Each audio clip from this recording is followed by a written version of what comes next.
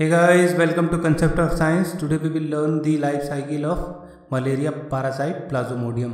We will start with this step where a Plasmodium infected female Anopheles mosquito is biting a human being. That bite leads to the injection of the parasite into the blood of the human. The parasite which is called sporozoites reach the liver through the blood cells.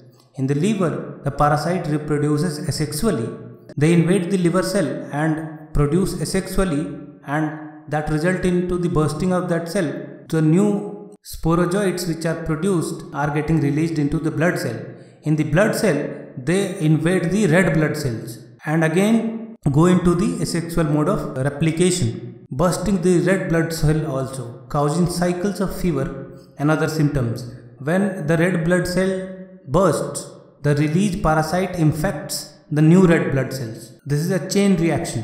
After infecting the red blood cell, some parasites do not go asexual reproduction or replication. They go sexual replication and they are present in the bloodstream in the form of gametocytes. These gametocytes are circulating in the blood and when a female Anopheles mosquito is biting that infected person, this is the stage 5 of the malaria.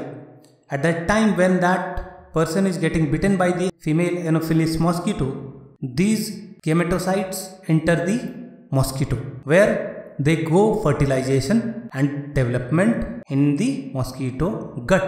The mature infective stages escape from gut and migrate into mosquito's salivary gland. This is happening in the mosquito where a fertilized mature cell of that sporozoa or plasmodium escapes the blood cell. This reaches the salivary gland of the mosquito and hence again there is a infected female anopheles mosquito having plasmodium sporozoites in the salivary gland ready to bite a healthy human being ready to transfer malaria to a healthy human being so there are two mosquito bites. In one of the mosquito bites, the infected gametocytes are transferred to the female Anopheles mosquito. They mature in the mosquito and then that mosquito again bites a, a healthy human being and transfers the malaria. This is the cycle of the malaria.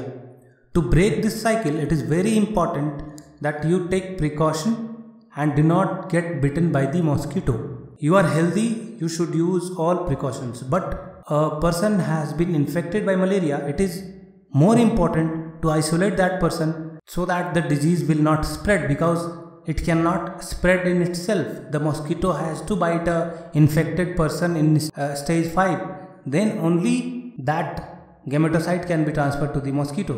So it is very important to inform the authorities about the uh, disease malaria because then the authorities can take preventive action to isolate that person or to focus on the areas where there is spread because one leads to another. Hope you understood this cycle.